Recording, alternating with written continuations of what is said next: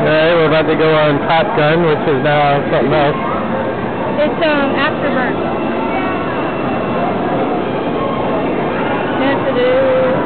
Alright. Let's see, I think I heard there's like an hour wait in this one. But guess what? We got Fast Pass. Oh snap. So probably a five minute wait.